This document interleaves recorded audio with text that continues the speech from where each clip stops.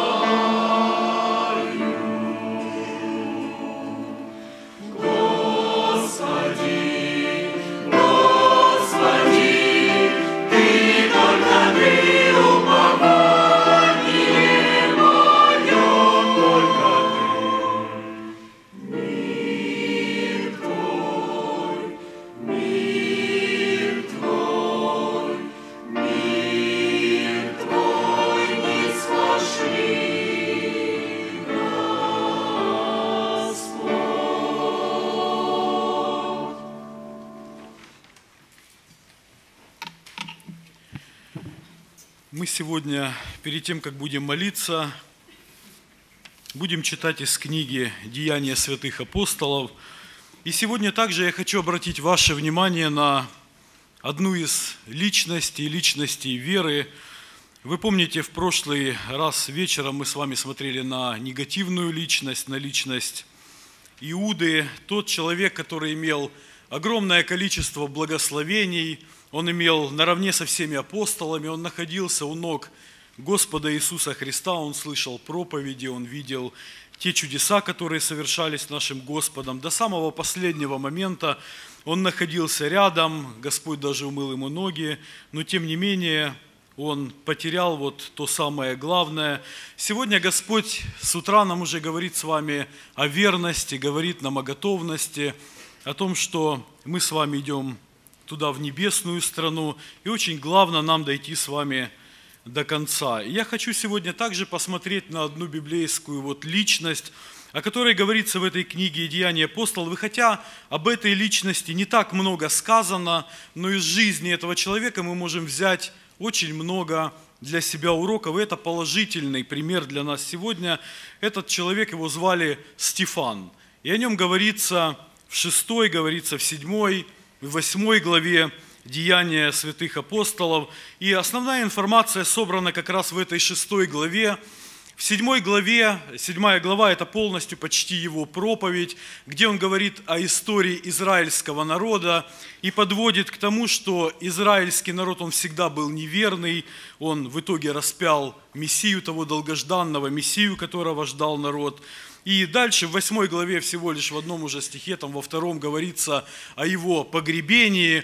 И одиннадцатая глава в Деянии апостолов говорит о том, что после как раз вот смерти Стефана начались гонения на церковь. Начались очень жестокие гонения на церковь. И давайте мы с вами прочтем шестая глава, мы прочтем с 8 по 15 стих. С 8 по 15 стих 6 главы Деяния апостолов.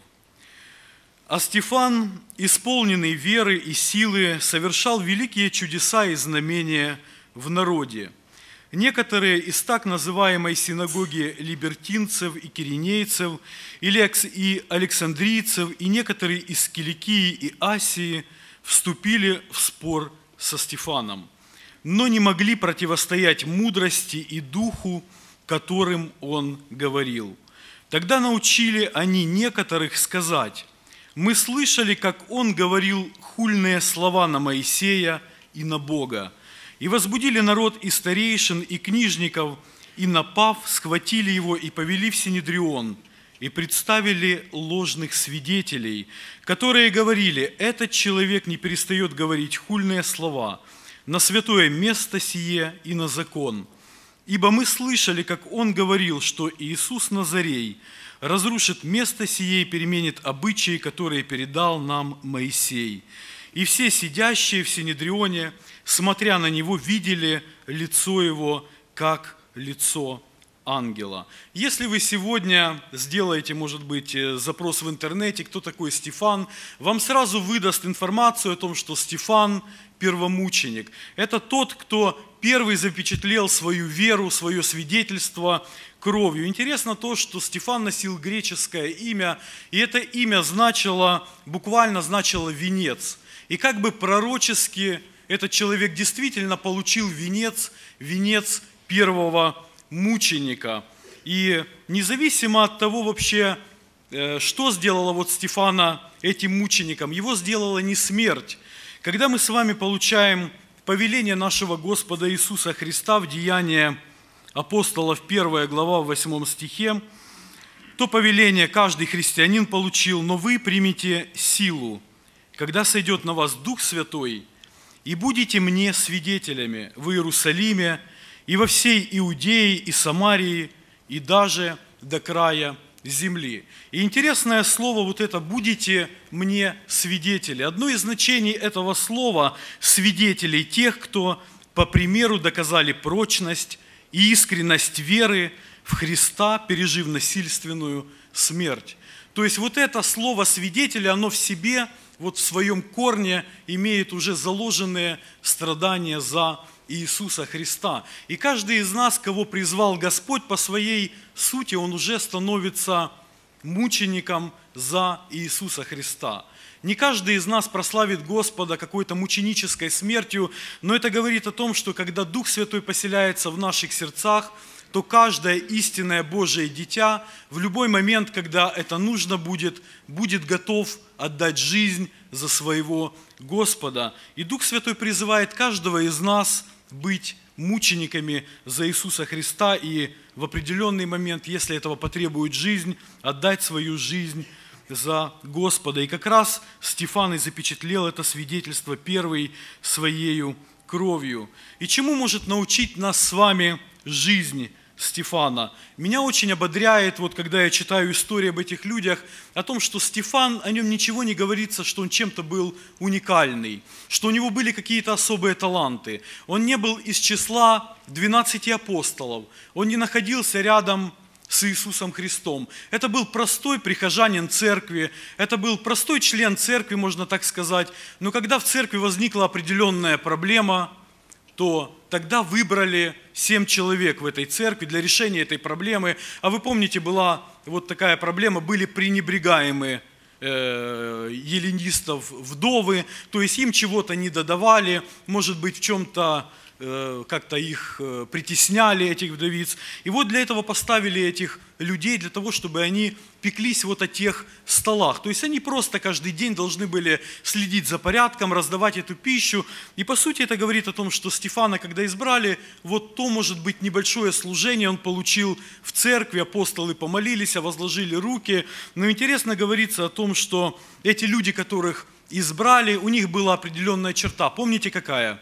Они были исполнены Духа Святого. Они были исполнены Духа Святого. Изберите из среды себя семь человек, которые были бы исполнены Духом Святым. И для нас это является также ободрением, что каждый из нас, подобно Стефану, может в своей жизни точно так же отражать Господа Иисуса Христа. И когда мы ближе знакомимся со Стефаном, мы видим, насколько он отражал своего учителя в каждом поступке. Лука, когда описывает жизнь Стефана, и в, и в Евангелии от Луки он также буквально теми же самыми словами описывает Иисуса Христа и описывает жизнь и поступки Стефана – и в 15 главе, в 6, вот 6 главе, в 15 стихе говорится о том, что люди, которые восстали против него, видели лицо этого человека как лицо ангела.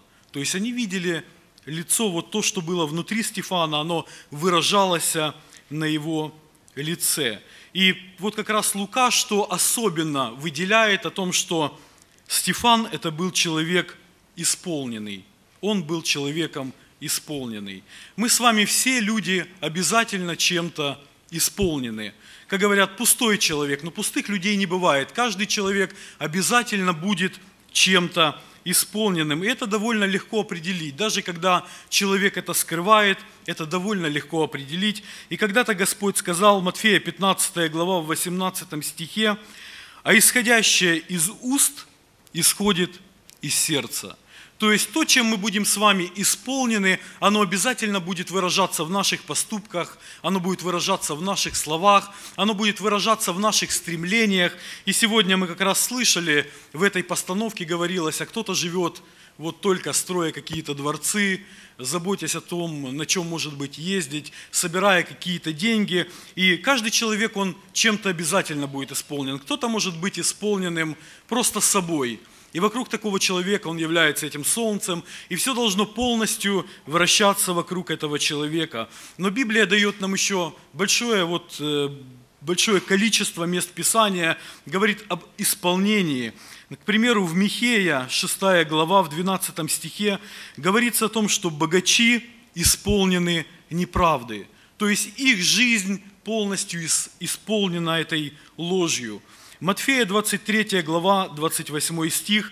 Наш Господь постоянно упрекал и вот ставил э, фарисеям и книжникам о том, что они были исполнены лицемерия. То есть вся их жизнь, она была подобна этим гробам. Внутри были наполнены, исполнены этой нечистотой, этой неправдой, э, а снаружи все было очень красиво, они красиво выглядели. Если вы посмотрите в Римлянам, апостола Павла, послание римлянам, на первую главу, первая глава римлянам, с 28 по 31 стих. И здесь апостол Павел также говорит такой довольно полный список того, чем человек может быть исполнен. И он говорит, и как они не заботились иметь Бога в разуме, то предал их Бог превратному уму делать непотребство. И вот здесь как раз в 29 стихе говорится, так что они исполнены всякой неправды, блуда, лукавства, корыстолюбия, злобы, исполнены зависти, убийства, распри, обмана, злонравия, злоречивы, клеветники, богоненавистники, обидчики, самохвалы, горды, изобретательны на зло, непослушны родителям, безрассудны, вероломны, нелюбовны, непримиримы, немилостивы, они знают праведный суд Божий – что делающие такие дела достойны смерти. Однако не только их делают, но и делающих одобряют. Во втором послании Петра, во второй главе, в 14 стихе, Петр дополняет этот список, и он говорит, глаза у них исполнены. И опять это же слово, глаза у них исполнены любострастия и непрестанного греха. Они прельщают неутвержденные души, сердце их приучено к любостяжанию – это сыны проклятия. Вот такие вот списки, чем люди могут быть исполнены. Если мы не исполнены Господом, то мы обязательно чем-то будем исполнены из этого списка. И не так важно, исполнены ли мы с вами вообще, а важно, исполнены чем мы с вами. Или здесь в данном случае правильно задать, наверное, вопрос, кем мы с вами исполнены. И здесь говорится о том, что Стефан был правильно исполнен, он был исполнен Духа Святого. И давайте посмотрим, что Писание говорит об исполнении Стефана, что говорит об его исполнении Духом Святым и какие в этом были плоды в его жизни. Деяние 6 глава 3 стих. Говорится о том, что Стефан был исполнен Духа Святого и мудрости. В пятом стихе говорится о том, что Стефан был исполнен веры и Духа Святого. В восьмом стихе говорится, ну, у нас здесь в переводе 8 стих говорится о том, что веры и силы, но в греческом здесь более точное слово стоит благодати, благодати и силы. И по сути результат исполнения Духом Святым в жизни Стефана был, он был исполнен Духа Святого, и это выражалось в его жизни в мудрости, в благодати, в вере и в силе. И обычно благодать и сила, они идут очень рядом. Бог нас избрал по своему образу, по своему подобию, чтобы мы Его отражали. Вошел грех в нашу жизнь, и мы все меньше стали соответствовать тому вот эталону, которому Бог хотел, чтобы мы соответствовали. И для этого пришел Божий Сын на эту землю, для того, чтобы вновь все восстановить, вернуть к тому началу, из которого мы с вами все вышли. И для этого Бог дал нам Духа Святого, помощника дал, для того, чтобы мы вновь вернулись и стали соответствовать Божьему образу. Бог больше всего прославляется в нашей с вами жизни, когда мы начинаем быть подобными Его Сыну, нашему Господу Иисусу Христу, и когда каждый день наша жизнь преображается в его жизнь. Когда-то в Иезекииле, Иезекииль сказал, через пророка Бог сказал, 36 глава, 26 и 27 стих, и он как раз сказал об этой работе исполнения Духом Святым. И он сказал, «И дам вам сердце новое, и дух новый дам вам. И возьму из плоти вашей каменное, и дам вам сердце плотяное, и вложу внутрь вас дух мой, и сделаю то, что вы будете ходить в заповедях моих, и уставы мои будете соблюдать и выполнять. Это делает сам Господь. Это Его труд. От нас только зависит, чтобы мы с вами полностью отдали себя в подчинение Богу, в подчинению Духу Святому. И это доступно каждому из нас, и мы видим это из жизни Стефана. Стефан был исполнен во всей своей жизни. От самого начала он был исполнен в служении, когда начинал с самого малого. Он дальше был исполнен в проповеди, он дальше был исполнен, даже когда умирал, он очень отражал постоянно во всем Господа Иисуса Христа. Я думаю, что каждой церкви и нашей церкви нужны такие люди, которые исполнены Духом Святым. Я думаю, что наши молитвенные группы, они молятся о том, чтобы Господь избирал таких людей, посылал в нашу церковь людей, которые исполнены Духом Святым. И молитесь о том, чтобы Бог в жизни служителей отсекал все то, что еще мешает, запинает полностью подчиняться Духу Святому. Как раз вот э, в шестой главе Деяния говорится о той проблеме, которая была в церкви. Давайте мы с вами прочтем несколько стихов. Шестая глава, с первого стиха. В эти дни, когда умножались ученики, произошел у еленистов ропот на евреев за то, что вдовицы их пренебрегаемы были в ежедневном раздаянии потребностей. Тогда двенадцать апостолов, созвав множество учеников, сказали, «Нехорошо нам, оставив Слово Божие, пищись о столах. Итак, братья, выберите из среды себя семь человек, изведанных, исполненных Святого Духа и мудрости, их поставим на эту службу, а мы постоянно прибудем в молитве и служении Слова, и угодно было это предложение всему собранию.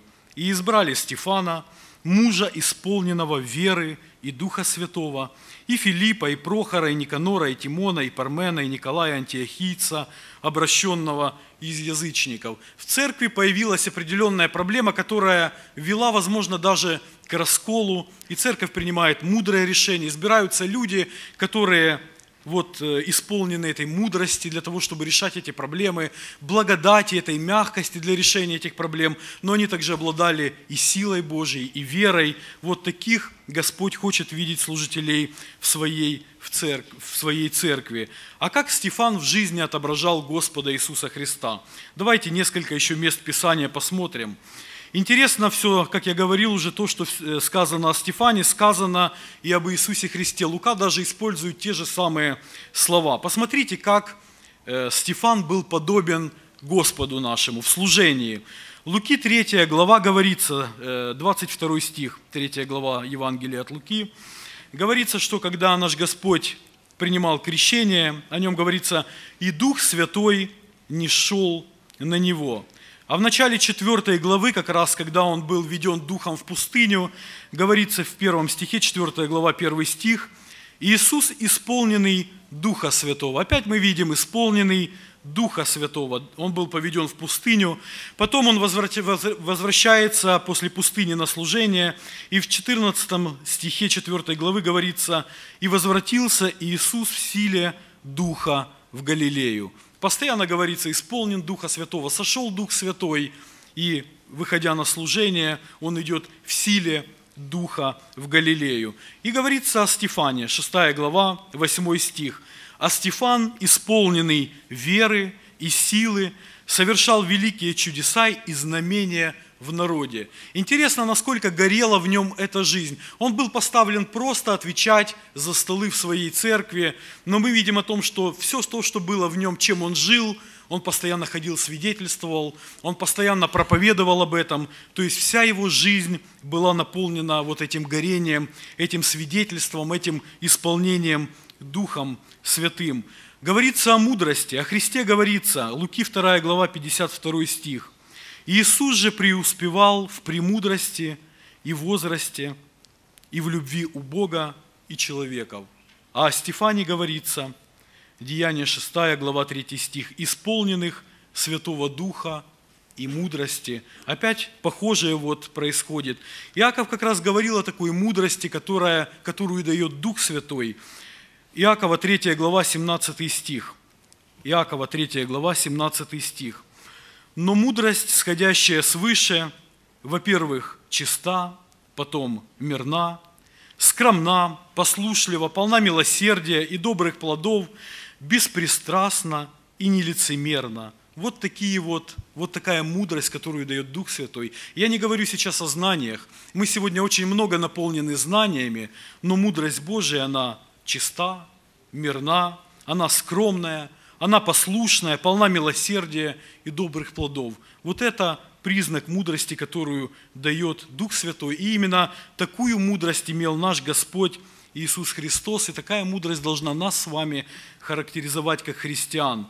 Дальше посмотрите, он был похож в благодати – на Господа Иисуса Христа. И говорится, Стефан, Стефан был исполненный благодати. Я уже говорил, восьмой стих, говорится, исполненный благодати. А что такое слово благодать? Ну, когда это относится к нашему Господу, нам понятно, благодать, Он дает нам какое-то благо, то, чего мы с вами не заслуживаем. Но интересно, что это слово, оно имеет вот производно от другого греческого слова, которое вот имеет в корне – понятие или смысл, и оно отражает нежность, терпение, снисходительность. И как раз они, вот эти качества, они были присущи Христу. Это, по сути, еще такие, такой смысл. Красота, элегантность, прелесть, симметричность и рифма – вот такая вот благодать. Видят ли в моей жизни люди как раз вот такую благодать, такую, может быть, мягкость, такую вот э, гармонию, когда мы решаем какие-то вопросы. Иоанн говорил об Иисусе Христе в первой главе, в 14 стихе. «И Слово стало плотью и обитало с нами, полное благодати и истины». Стефан также был исполненный Божьей благодати – и благодать обязательно будет отображаться, преображение в благодати будет отображаться в нашей с вами жизни. Как часы вот отражаются на наших лицах, отражаются в наших морщинках, дни, годы, в наших седых волосах, точно так же благодать Божья будет отображаться обязательно на наших лицах. То, чем мы с вами наполнены, чем мы с вами исполнены, с годами будет выражаться и на наших с вами лицах. Интересно, что дальше, когда говорится о Стефане, даже до самого последнего момента своей жизни он был тем, кто повторял Иисуса Христа, он отражал Господа Иисуса Христа. Интересно то, что человек, исполненный Духа Святого, он всегда будет иметь оппозицию. Человек, который обладает этими качествами, верой, мудростью, благодатью, силой, он всегда будет являться вот этим бельмом на глазу у людей, которые не хотят жить праведно. Он будет делать то, что в его окружении будет неудобно находиться. Это а, обязательно будет вызывать недовольство людей. Я наблюдаю, как растут сегодня мои дочери, и моей старшей уже 14 лет, и я за нее переживаю, когда вижу, она возвращается расстроенная очень часто со школы. Когда они были маленькие, первый, второй, третий класс, было очень много друзей в школе. Но сейчас, когда они подрастают, уже по 14 лет им, она приходит, говорит, кто-то начал уже курить, кто-то какие-то смотрит сериалы, которые, естественно, мы не можем смотреть. Кто-то вот играет в какие-то игры, в которые мы не можем. И она говорит, я замечаю то, что я становлюсь неудобной. Те, с кем я раньше дружила, сегодня я для них становлюсь неудобным. В моем присутствии они себя очень неудобно чувствуют. И мне приходится объяснять, что действительно путь с Господом Иисусом Христом – это несравненно лучше. Есть тот друг, который никогда не оставит, с которым нужно пройти жизнь, потому что я в своей жизни жил без Иисуса Христа, я знаю, что это такое, какой это путь, поэтому я их наставляю в том, что есть единственный друг, с которым нужно идти по жизни. И мы всегда должны с вами помнить слова нашего Господа Иисуса Христа, которые написаны в Евангелии Иоанна, 15 глава, в 20 стихе. «Помните слово, которое я сказал вам, раб не больше господина своего, если меня гнали, будут гнать и вас. Во 2 Тимофея 3 глава 12 стихе апостол Павел также когда-то писал, «Да и все, желающие жить благочестиво во Христе Иисусе, будут гонимы». То есть те люди, которые отдали себя полностью, посвятили себя Духу Святому, посвятили себя Господу Иисусу Христу, они будут всегда вызывать неудобства в обществе, и эти люди всегда будут гонимы. И посмотрите на еще одно, перед тем, как мы с вами будем молиться, на еще одно качество, которое имел Стефан. Оно описано в 7 главе. Когда он заканчивает свою проповедь, на него начинают скрежетать зубами, его выводят, выводят побивать камнями, и вновь он подобен Господу Иисусу Христу. Когда наш Господь висел на кресте, Луки 23 глава, 34 стих. Луки 23 глава, 34 стих – Здесь говорится молитва нашего Господа. Иисус же говорил, «Отче, прости им, ибо не знают, что делают». И вот когда Стефана выводят побивать камнями, на него летят эти камни, и посмотрите, какой молитвой он молится. Деяние 7 глава, 60 стих. «И, преклонив колени, воскликнул громким голосом, «Господи, не вмени им греха сего». И, сказав это, почил. Человек, исполненный Духа Святого, он будет всегда отображать своего Господа во всех качествах. И даже в прощении врагов, в служении, в жизни и даже в смерти. И такая жизнь всегда будет приносить обязательно плоды. И первый плод смерти Стефана, помните, какой был?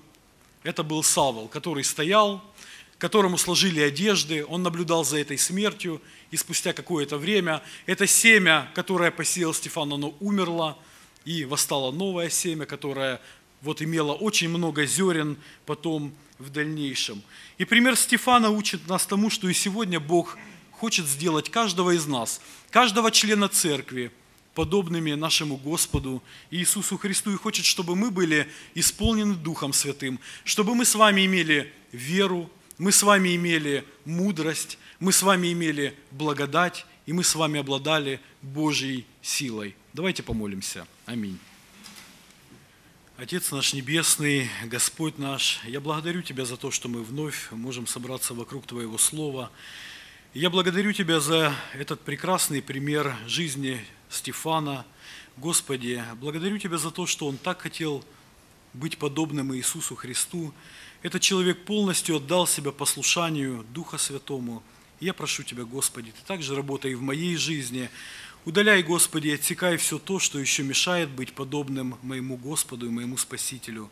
Я благодарю Тебя за Твое долготерпение, Господи. Благодарю за то, что Ты продолжаешь Твою работу, Господи, я это вижу. Помоги, Боже, чтобы моя жизнь, Господи, хождение в каждом дне, Господи, в, каждых, в каждой мелочи, Боже, оно прославляло Твое великое и святое имя. Господи, благослови дальнейший ход нашего служения, наше пение, Господь, еще проповедь Слова Твоего. И за все будь прославлен великий Бог, Отец, Сын, Святой Дух. Аминь.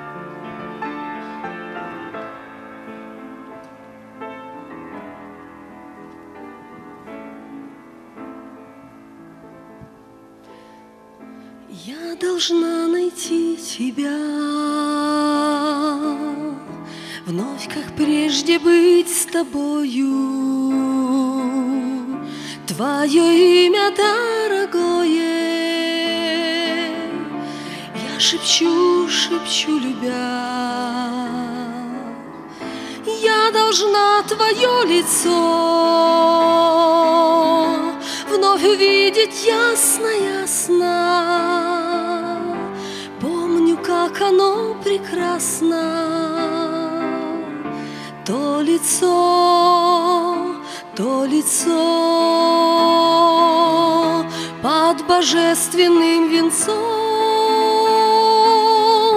Я должна найти тебя. И как прежде быть с тобою? Твое имя дорогое. Я шепчу, я шепчу Я шепчу его любя Прикоснуться бы к руке Или к краешку одежды. Я ищу тебя с надеждой Знаю, ты не вдалеке. Жажду слышать голос твой Трепетать и поклоняться Бесконечно восхищаться Всей твоей, всей твоей Всей твоею красотой. Жажду слышать голос Твой, трепетать и поклоняться, бесконечно восхищаться всей Твоей, всей Твоей, всей Твоею красотой.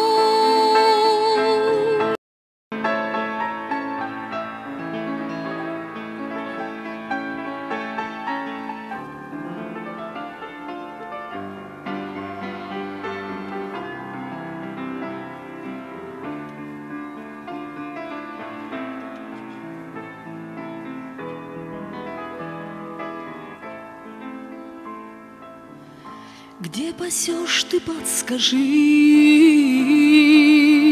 Мои поиски облегчи, На опущенные плечи Свою руку положи,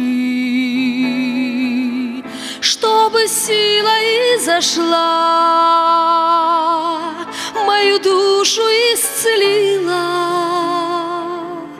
чтобы солнце вновь светило, чтобы я, чтобы я, чтобы я тебя нашла, чтобы сила изошла, мою душу исцелила, чтобы солнце вновь светило чтобы я, чтобы я, чтобы я тебя нашла.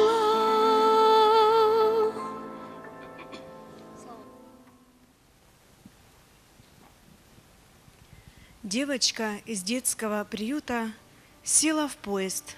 В городе одном поезд был обычного маршрута, у нее же путь в небесный дом – к дальнему купе подходит крошка. Здесь свободно, смотрит, где бы сесть. И ее сажают у окошка. Лет ей было пять, быть может, шесть. Узелок при ней, оттуда ушко бархатное заячье торчит.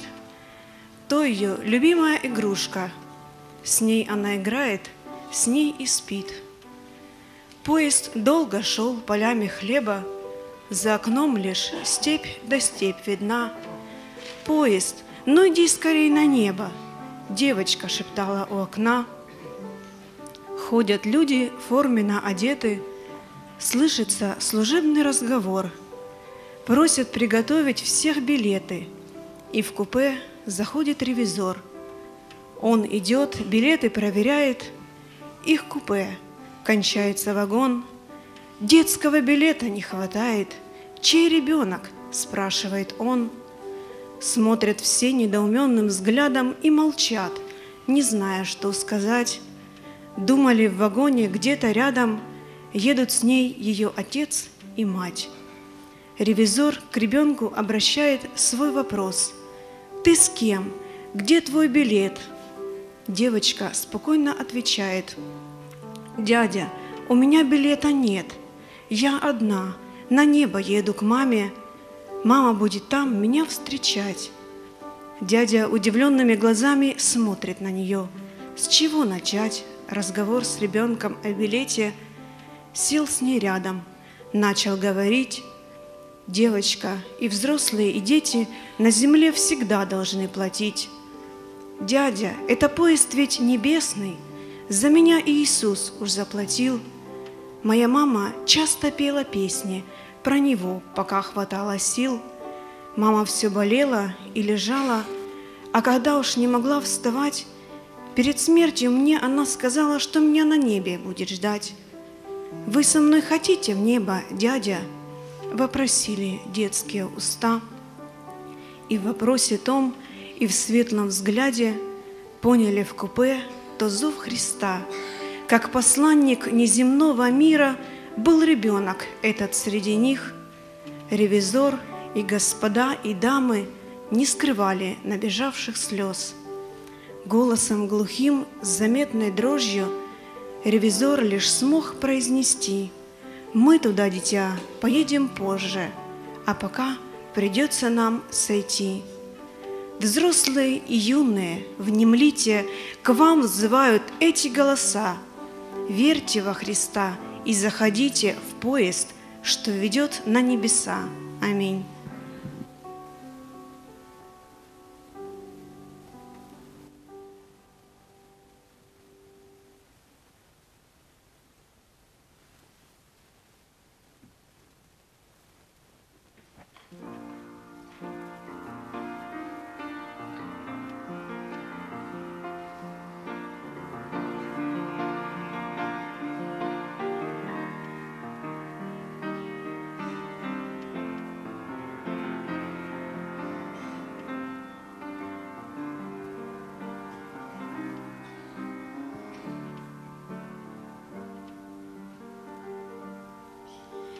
Ісус,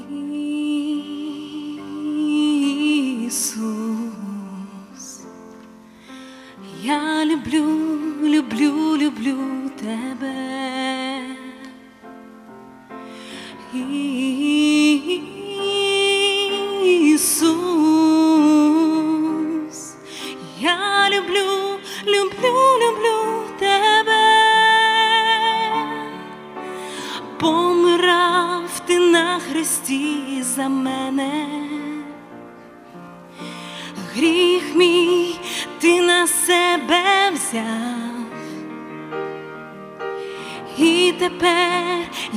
живу для тебе, я, я мій Бог, тепер лише твоя.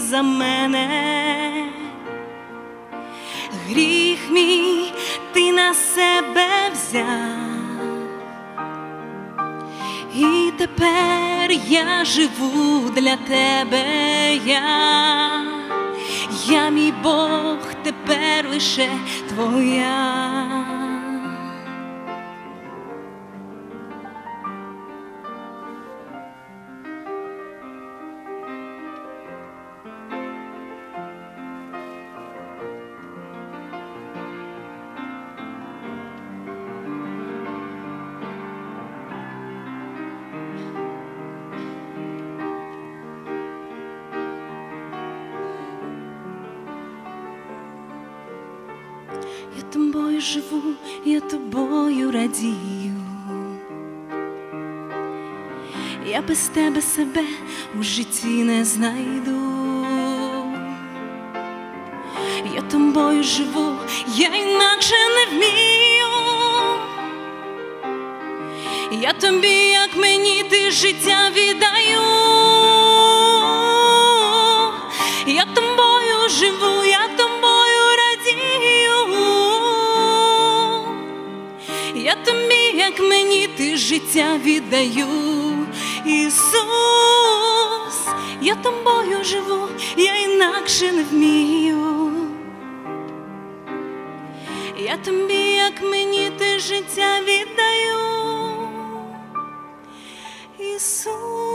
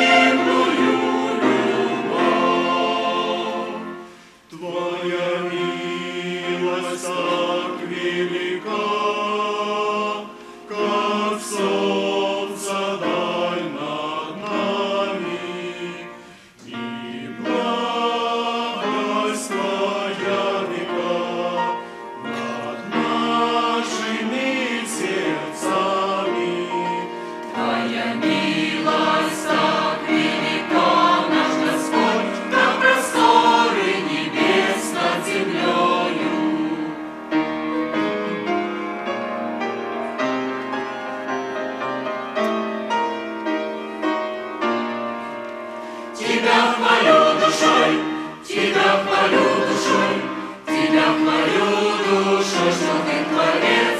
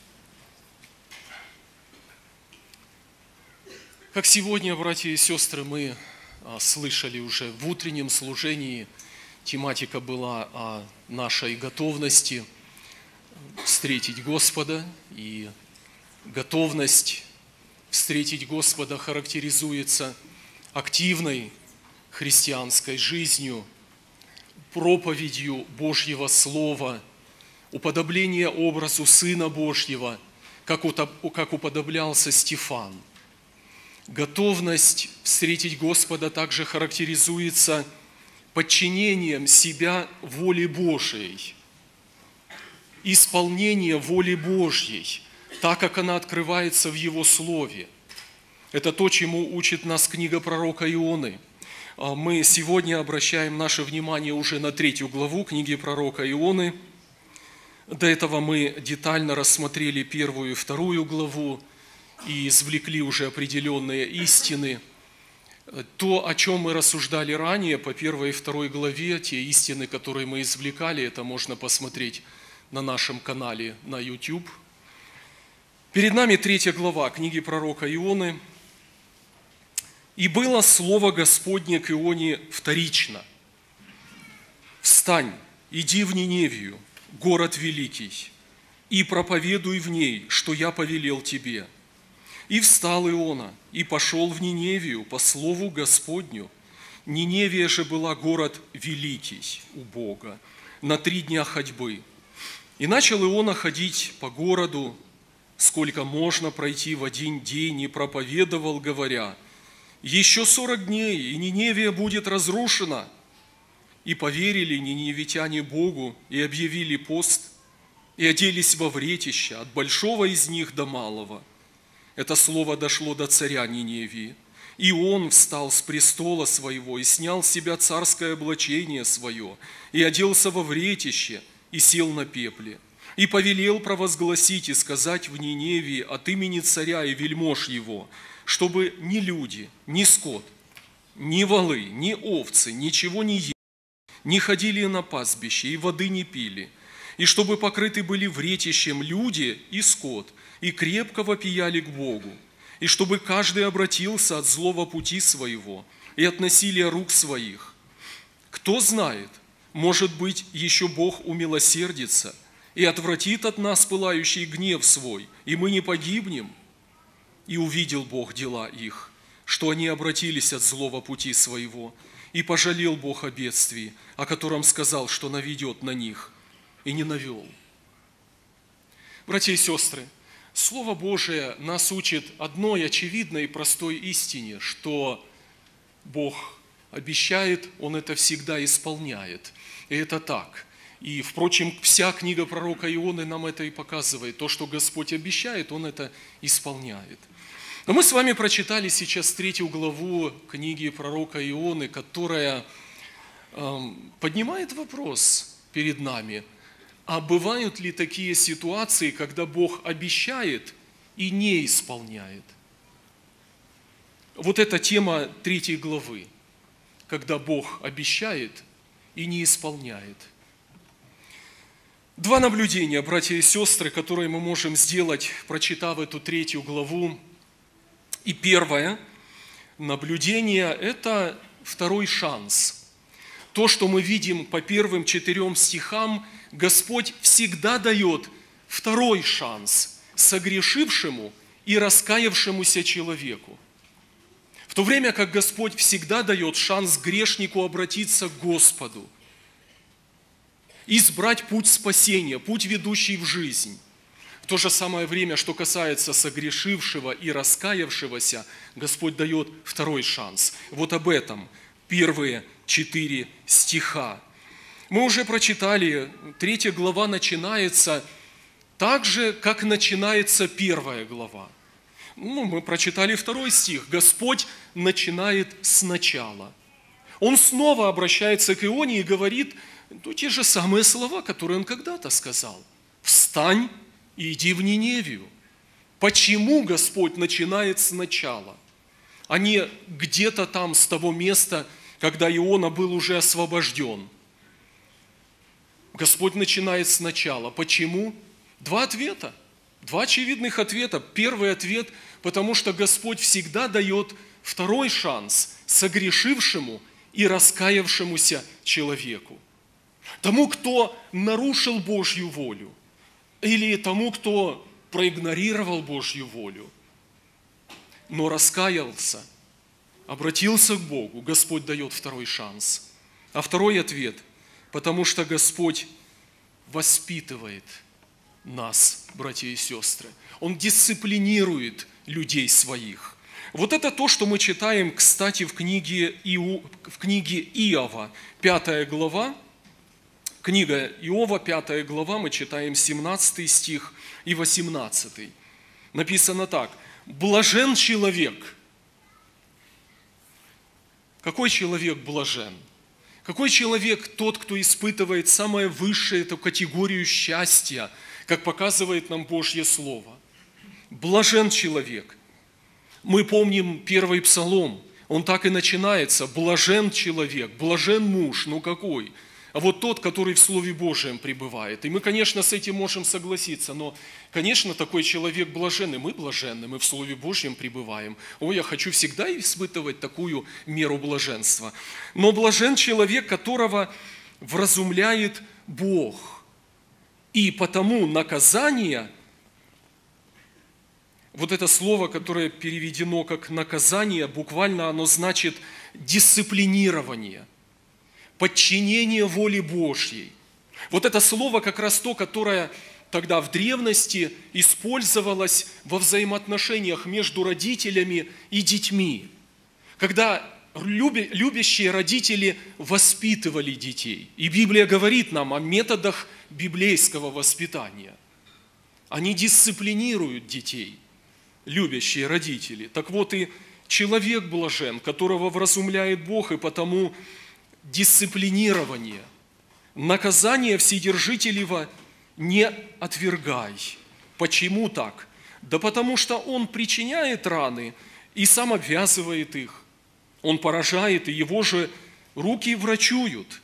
Господь не как непоследовательный родитель, что показывает нам вот этот текст Священного Писания. Он дисциплинирует, он воспитывает детей своих.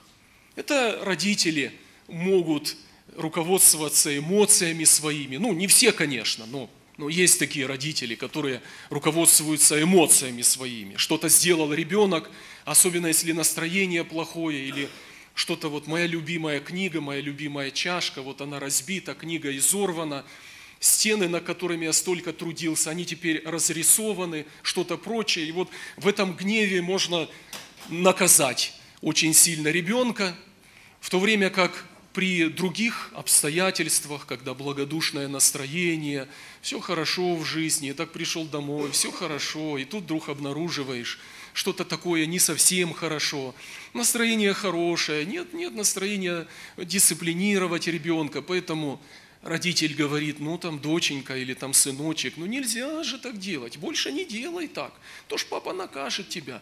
Господь, Он не руководствуется эмоциями. Он дисциплинирует всегда детей своих, любя их. И для блага же их. И это модель для любящих родителей, которые сами живут по библейским стандартам и которые хотят детей своих воспитать последователями Господа, последователями Иисуса Христа.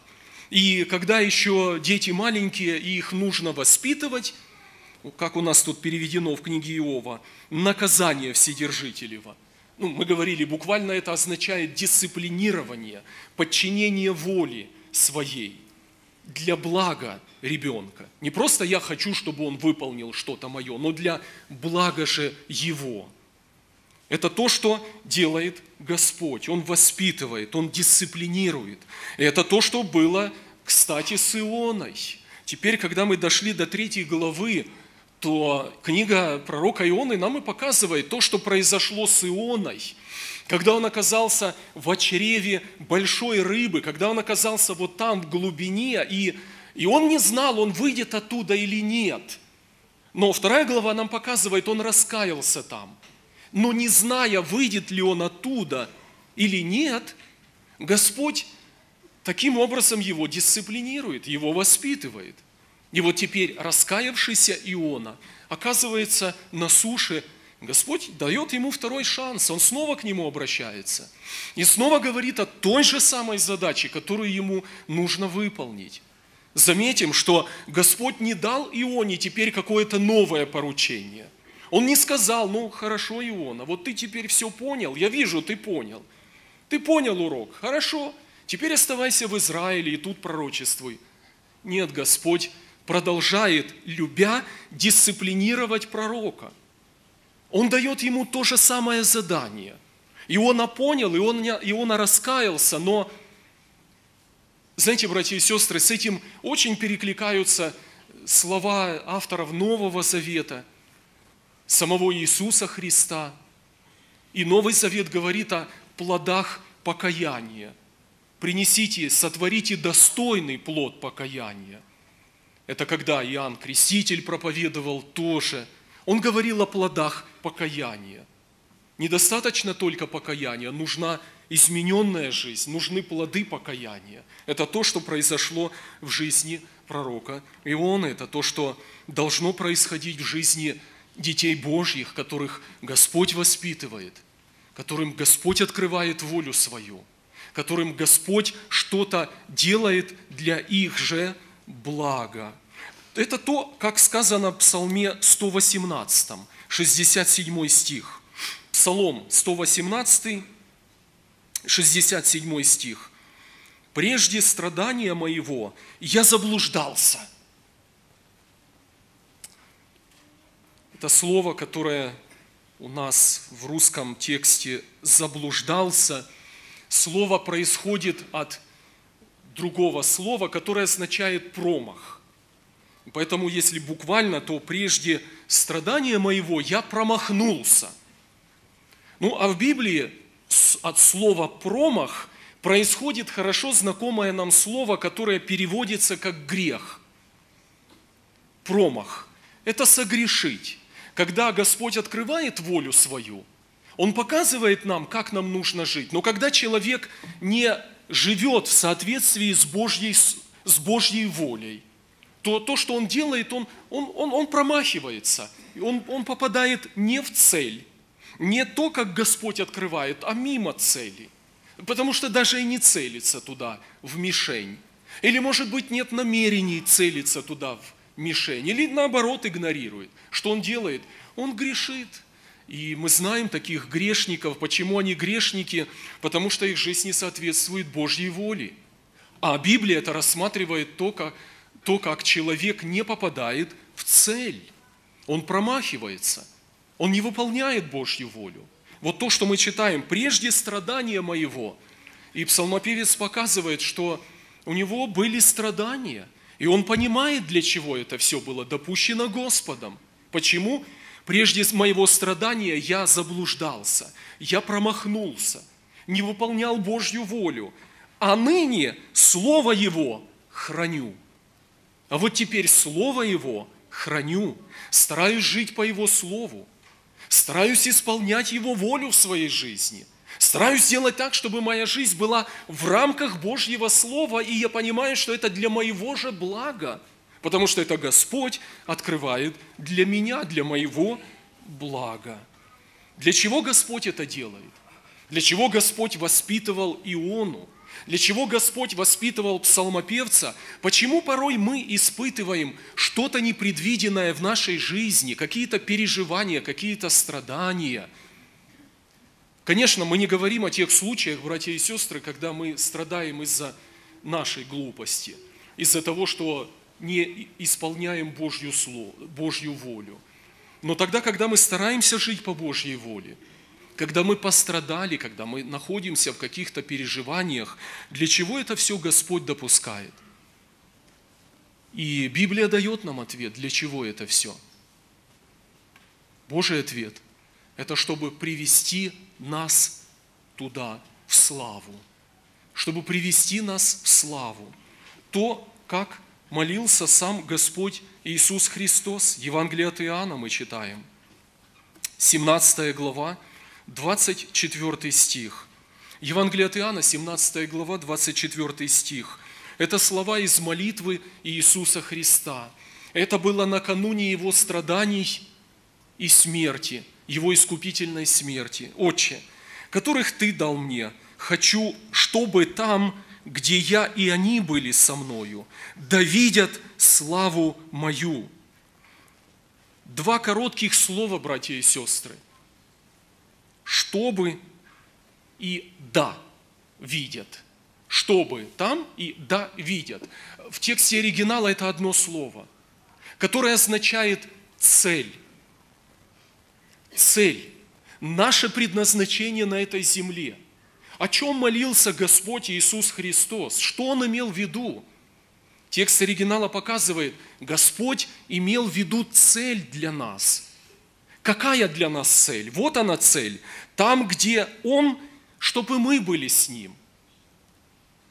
Вот какая наша цель. Видеть славу Его, которую Ты дал мне, потому что возлюбил меня прежде основания мира. Так заканчивается 24 стих. Вот эта цель, братья и сестры, Иисуса Христа для нас. Поэтому Он всегда дает во-первых, грешнику шанс обратиться к Господу. И пока грешник жив, пока он живет на земле, Господь дает шанс. Ну, а тогда, когда мы в нашей жизни допускаем что-то, что не соответствует воле Божьей, когда христианин согрешает, а потом раскаивается перед Богом, Господь дает второй шанс. Господь всегда дает второй шанс, потому что Его цель – привести нас в славу – Поэтому, как любящий Отец наш Небесный, будем помнить, Господь нас будет дисциплинировать, Он будет нас воспитывать. Для чего? Для какой цели?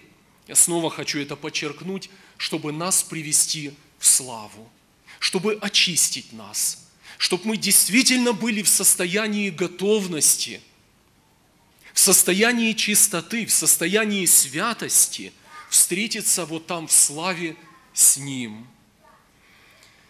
Ну, а в той исторической реалии мы прочитали ответ Ионы, какой был, когда Господь обращается к нему, и первые четыре стиха показывают, Иона встал и пошел, но в отличие от того первого раза, Иона пошел, куда направил его Господь, пошел в Ниневию, подчеркивается, по слову Господню.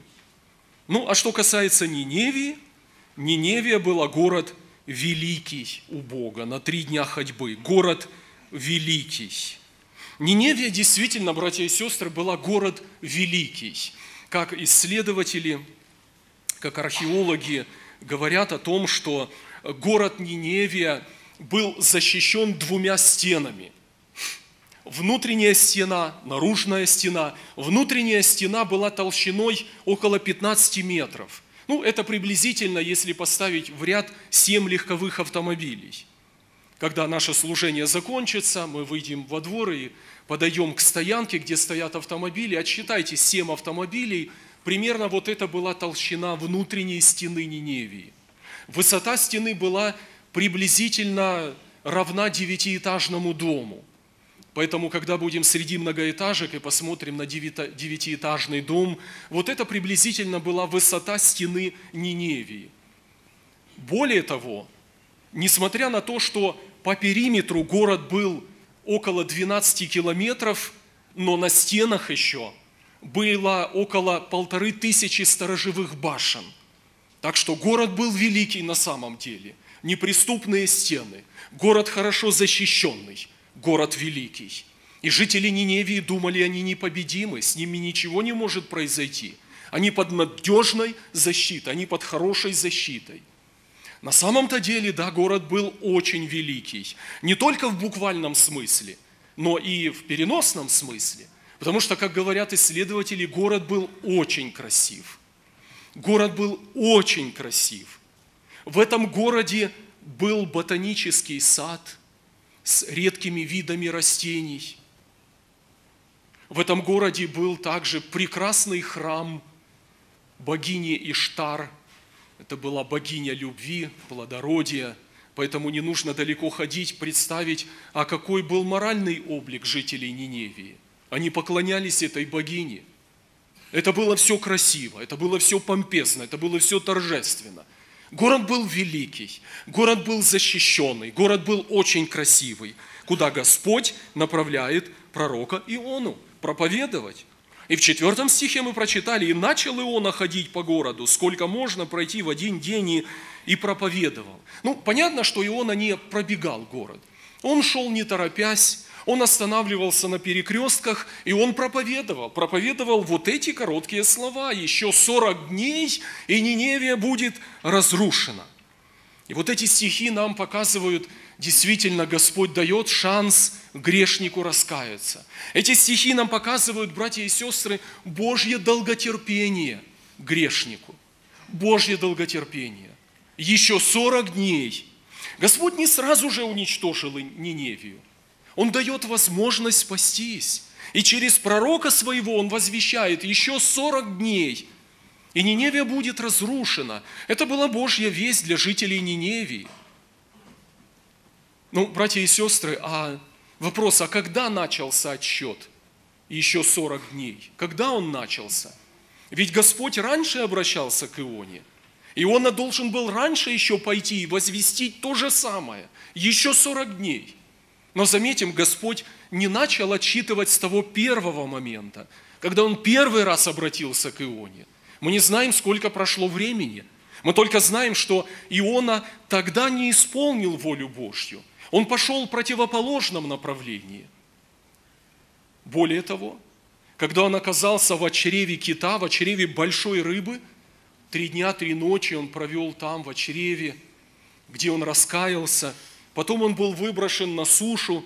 Мы не знаем, сколько прошло времени Ионы на суше. Но третья глава только начинается с того, что было Слово Господне к Ионе уже вторично.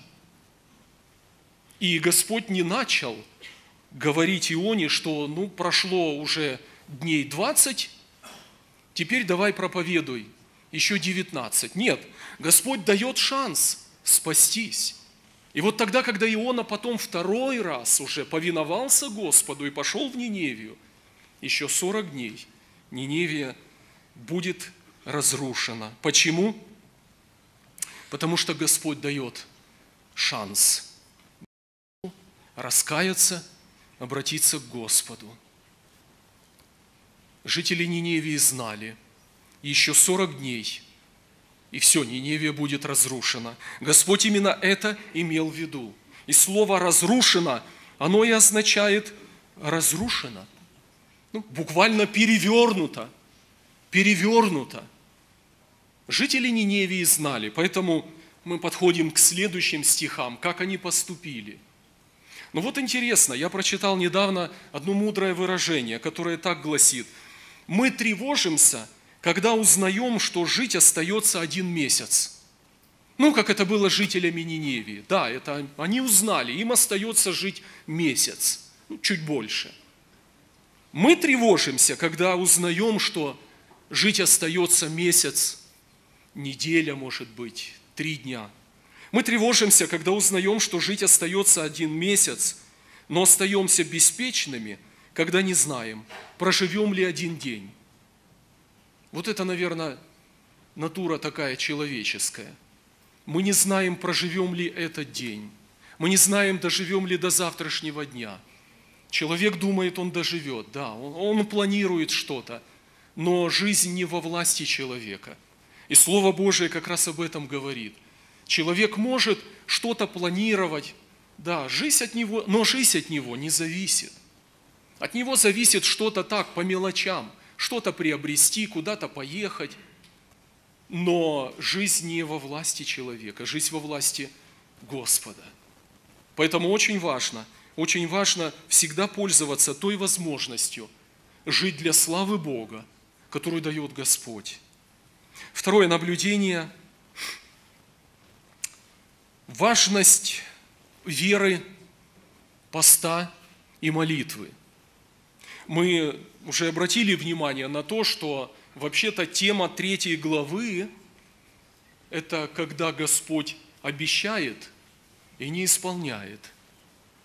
Господь пообещал, еще 40 дней Ниневия будет разрушена.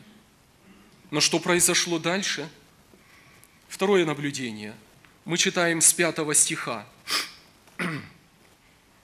и поверили ниневитяне Богу.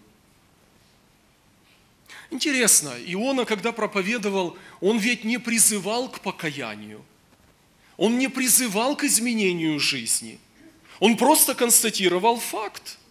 Еще 40 дней, и все, Ниневия будет перевернута, разрушена – Хотя обычно весь пророков, и когда мы читаем пророческие книги, они имеют между собой одну характерную черту, вот, вот эту схожесть.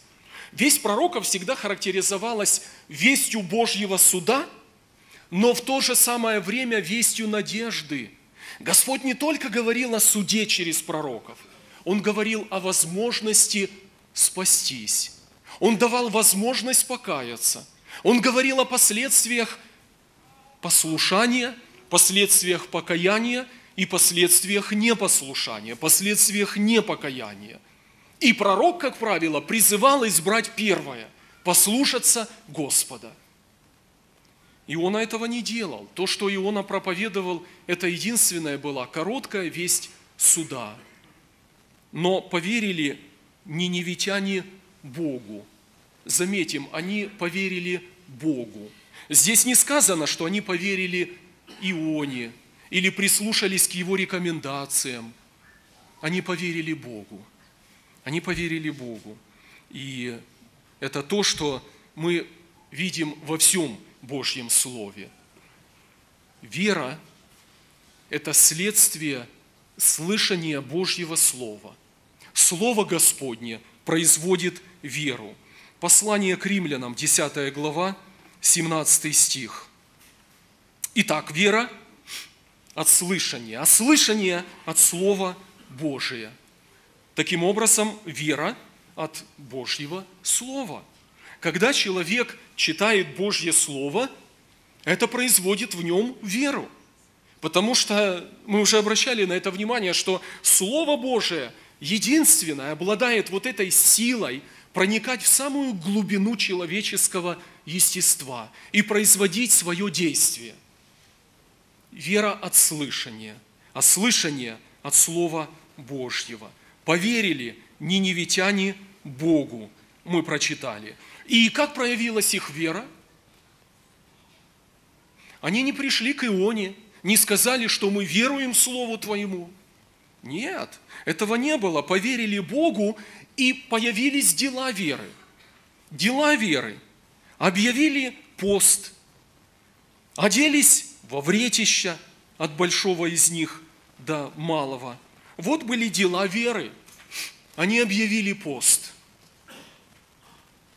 И мы обратили уже внимание, что вот второе наблюдение – это важность веры. И мы, конечно, с этим согласны. Вера важна. Важность поста и молитвы. Ну, когда мы говорим о посте, то я, конечно, понимаю, что пост в отличие от молитвы, это не настолько популярен сегодня, когда мы находимся в водовороте дел, обязанностей, в водовороте работы нашей, водовороте повседневных обязанностей, очень много чего нужно делать, жизнь так кипит, жизнь вертится, и мы не можем просто вырваться из этого водоворота, и там не до поста. Там нужны жизненные силы для того, чтобы куда-то поехать, договориться, выполнить здесь дело, тут служение еще, встречи, молитвенные встречи, лидерские и прочее, и прочее, и прочее. Поэтому нужна сила. И я так говорю, не осуждая кого-либо из нас. Я вовсе не намереваюсь, чтобы кто-либо из нас сейчас почувствовал свою вину. Я просто говорю о том, что пост – это то, что всегда видели как важное в духовной жизни дети Божьи. Но удивительно то, что те, кто не из Божьего народа, Иона не говорил им об этом, но дела веры, какие были у них, они объявили пост. Они объявили пост. Мы, конечно, понимаем важность поста. Но в то же самое время я вижу, братья и сестры, что порой мы не до конца понимаем, а в чем сущность поста. Да, мы видим его важность, мы понимаем его сущность, но не всегда видим, в чем же сущность его. Эм, некоторые думают, пост – это, ну, прежде всего, ничего не есть и не пить. Ну, кто-то думает, пост – это способность как, как способность моя что-либо доказать Богу. Ну, вот, вот таким образом я хочу Богу доказать свою, не знаю, посвященность или верность Богу. Кто-то думает, пост это, это какая-то мистическая сила, с помощью которой я могу теперь творить чудеса веры. Ну, вот так я не могу творить, а вот когда я в посте, тогда что-то происходит.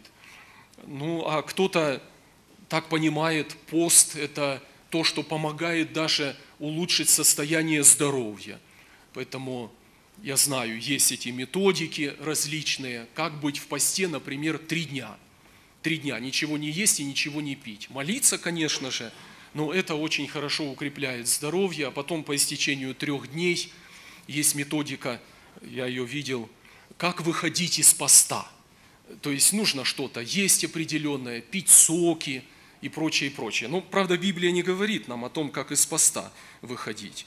А кто-то думает, что пост – это метод давления на Бога. Ну, если я молюсь, и Господь не отвечает, а вот когда я беру пост, то Господу просто уже некуда деваться, Он, конечно, ответит на молитву мою. Ну, это все неправильное понимание поста. Дело в том, что пост – это как показывает нам Библия, по сути своей, это мое внутреннее состояние. Да, есть его внешнее проявление, но прежде всего это мое внутреннее состояние. Это проявление и признание моего недостоинства перед Господом. Тогда в случае с неевитянами мы прочитали, они поверили Богу, они объявили пост –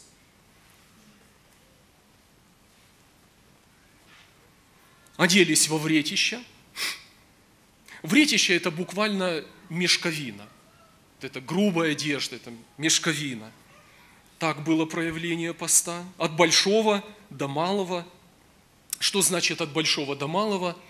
Э, два смысла есть. Первый смысл буквальный – это то, что на поверхности лежит от взрослых до детей. Ну, все жители Ниневии, от взрослых до детей – объявили пост. Другой смысл – это от власть имущих до простых людей. Ну и дальше мы читаем даже царь Ниневии. И тот сошел с престола, и тот оделся в мешковину, и тот тоже, что там, сел на пепле, мы читаем, сел на зале.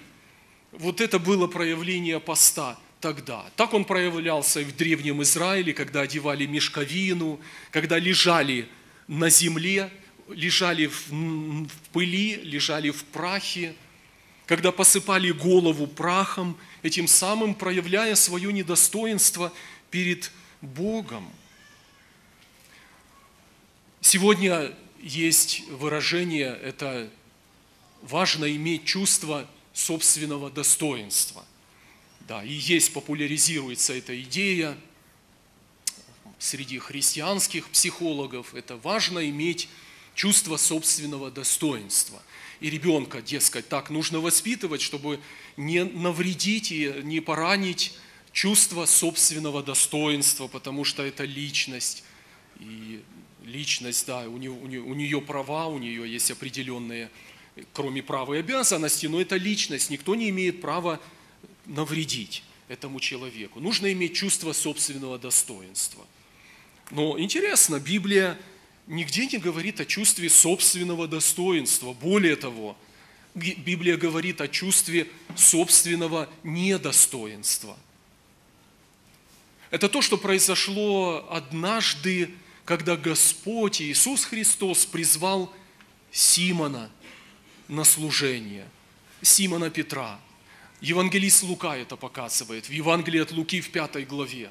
Он приводит интересную историю, когда рыболовы вышли на берег, они вымывали сети. Среди них был и Симон. А Иисус Христос проповедует на берегу, а потом он обращается к Симону, и, и он просит, ну, отплывите на глубину, закиньте сети для лова – а он отвечает, Симон отвечает, Господи, ну, ну всю ночь мы трудились, ничего не поймали. По, ну, по слову твоему закину, конечно, сеть. И почему Симон так решил? Опытный рыбак, почему он так решил? Дело в том, что ранее у него уже была встреча с Иисусом Христом. И евангелисты это показывают. Но вот тогда, когда Иисус Христос после проповеди очередной пришел домой к Симону, евангелисты замечают, а в доме у Симона была теща, и она была больная, лежала в горячке. Иисус Христос исцеляет ее. Это было действительно исцеление. Симон это видел. И вот теперь снова Господь перед ним и, и предлагает, закиньте сети для лова. Господи, ну по слову Твоему закину. Они снова выходят на глубину озера Генесарецкое – опытный рыбак, он хорошо знает, и его товарищи рыбаки очень хорошо знают, не время ловли рыбы, но, но раз так сказал Симон, думают его товарищи, ну нужно, конечно, ловить. Происходит чудесный улов. Но вот что дальше происходит, это еще более интереснее, еще более чудесней. Иисус Христос в лодке с Симоном.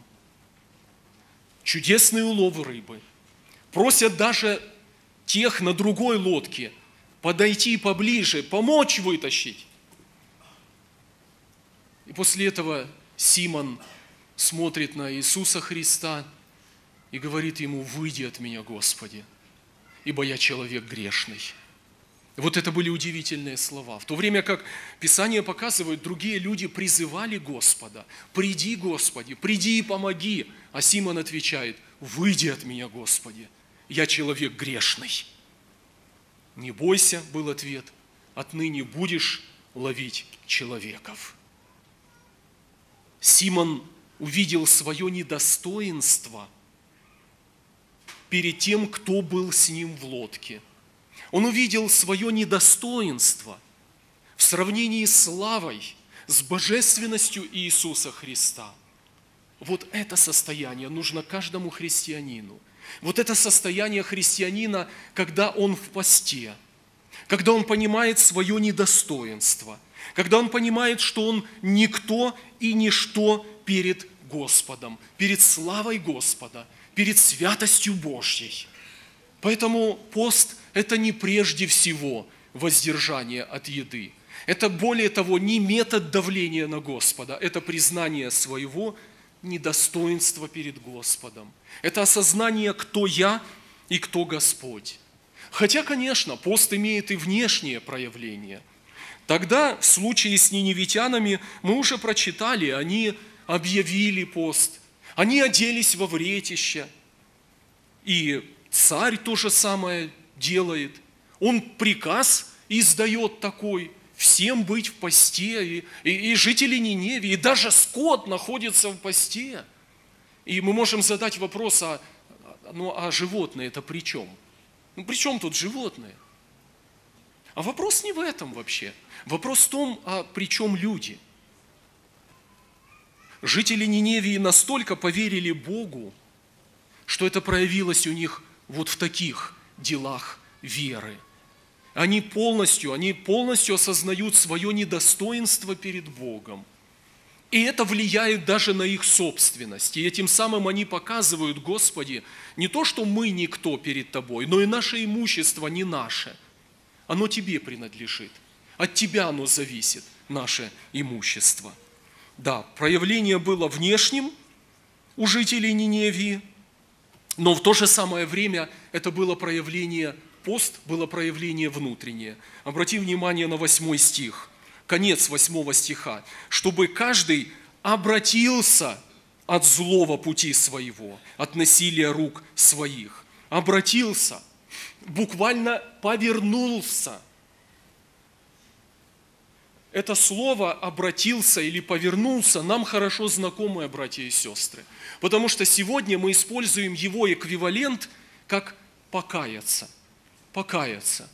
А что такое покаяние? Библия нам показывает. Библейское покаяние – это изменение образа мыслей. Это изменение мира восприятия. Это понимание, кто такой Бог и кто такой я. И вот это изменение мыслей, изменение мировосприятия влияет на жизнь мою так, что я отворачиваюсь от греха. И грех теперь становится противным мне. Вот это покаяние, которое ведет меня дальше, это к обращению к Богу. Молитва обращения к Богу. Мы называем ее молитвой покаяния. Это может быть дома, это может быть здесь в служении – у нас уже так установился такой стандарт, и мы считаем вот это покаяние, когда человек выходит сюда вперед, и он обязательно вслух кается. Но это уже последствия того, что уже произошло. Я не говорю о том, что эта форма неправильная. Мы говорим о том, что это результат покаяния, результат того, что уже произошло, как показывает нам Библия. Покаяние – это то, что было у жителей Ниневии, чтобы каждый обратился, покаялся буквально, отвернулся от греха. Вот это проявление внутреннее поста и молитвы. Поэтому пост без реальных изменений – это просто напрасная трата времени. Пост без реальных изменений в духовной жизни – это напрасная трата времени. Хотя кто-то может сказать, о, так это укрепило мое здоровье, о, я очистил свой организм, или я очистила свою печень и прочее, прочее. То лечебное голодание. Пост – это когда изменяется моя духовная жизнь перед Богом. Когда я вижу себя во свете Божьей святости, во свете Божьего Слова, во свете Божьей славы. То, как увидел себя Симон Петр и признал себя грешным – перед Богом. Поэтому, конечно же, одно неотделимо от другого. Пост и молитва, да, это внутреннее состояние, но это проявляется и внешне. Что касается жителей Ниневии, обрати внимание, они объявляют пост, они находятся в посте, они обращаются к Богу, они молятся Богу. Но девятый стих мы читаем, «И кто знает, может быть, Бог умилосердится и отвратит от нас пылающий гнев свой, и мы не погибнем. Жители Ниневии не знали. Как мы уже заметили, братья и сестры, Иона не объявлял им, покайтесь, и Господь простит. Я хочу снова наше внимание на это обратить. Иона объявил им решение Бога. Еще 40 дней, и Ниневия разрушена. К чему это? Жителей Ниневии, они поверили Богу, а теперь они просят о прощении, просят о милости, но они не знают, что будет с ними. То же самое, как не знал Иона. Выйдет ли он из чрева рыбы? Он не знал этого. Это мы, читатели, сегодня мы знаем, чем все закончилось. Мы знаем, что все было благополучно в конце концов. Это нам сегодня это известно.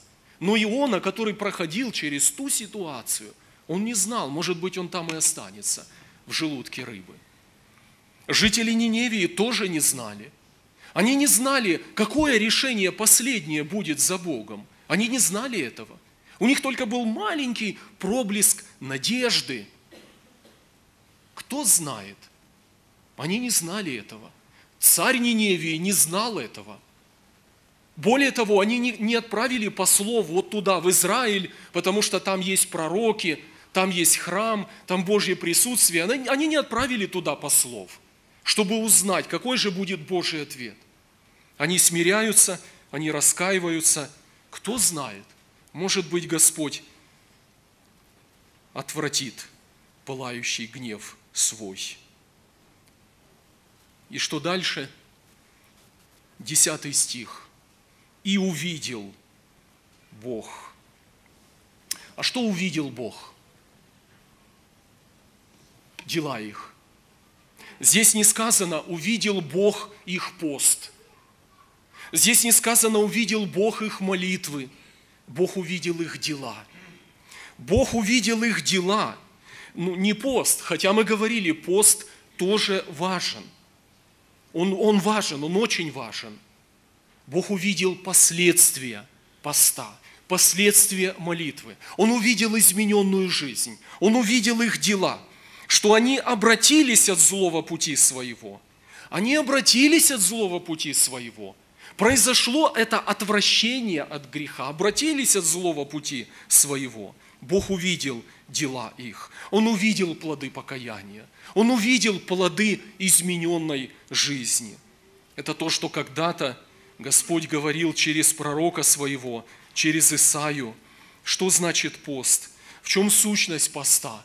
Какой пост угоден Господу? 58 глава книги пророка Исаии. Мы читаем с первого стиха. «Взывай громко, не удерживайся, возвысь голос твой, подобно трубе. Укажи народу моему на беззаконие его и дому Яковлеву на грехи его. Они каждый день ищут меня, хотят знать пути мои, как бы народ, поступающий праведно и не оставляющий законов Бога своего. Они, вопрош... они вопрошают меня о судах правды, желают приближения к Богу и задаются вот этим вопросом. Почему мы постимся, а ты не видишь? Смиряем души, а ты не знаешь. И Божий ответ, вот, в день поста вашего вы исполняете волю вашу. И так далее. Вы поститесь для ссор в четвертом стихе. Пятый стих. А таков ли пост, который я избрал?